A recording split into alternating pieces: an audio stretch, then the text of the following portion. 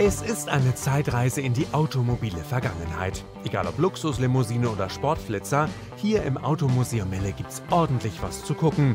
Museumsleiter Heiner Rössler liebt Autos. Diesen Kleinwagen aus den 30ern mag er ganz besonders. DKW war damals die zweitgrößte deutsche Autofirma, die erste, die Frontantrieb in Serie baute. Und das ist ein besonderes Modell mit Schwiegermuttersitz.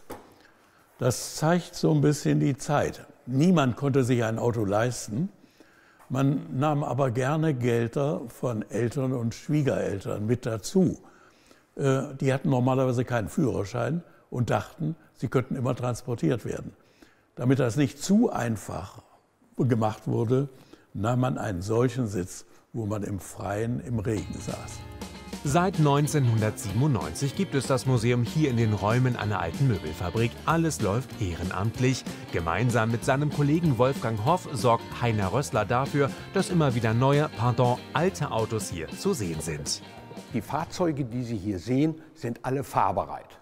Wir legen Wert darauf, dass die Eigner die, uns die Fahrzeuge zur Verfügung stellen, die Fahrzeuge auch wieder abholen. Wir erwarten nach sechs, sieben Monaten ungefähr, dass der Eigner sein Fahrzeug holt, sodass wir immer wechselnde Ausstellungen haben. Mit anderen Worten, wenn man nach einem Jahr wiederkommt, sieht man andere Fahrzeuge.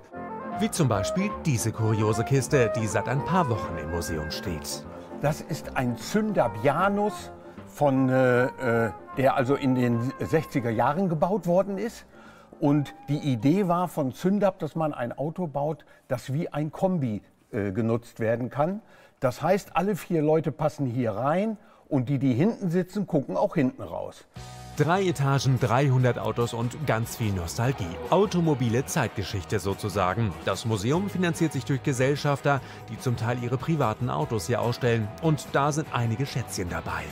Mit den geplanten Autobahnen kamen Stromlinienfahrzeuge als die Autos der Zukunft ins Gespräch.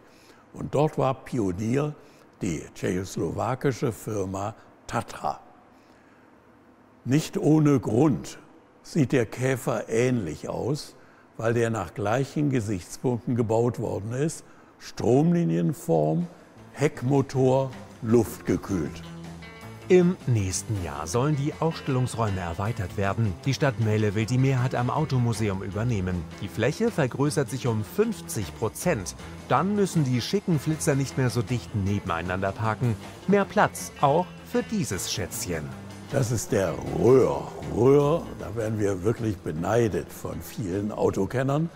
Röhr ist die erste Automarke, die in Serie Allradfederung, Einzelradaufhängung gehabt hat war damals für die schlechten Straßen unglaublich wichtig.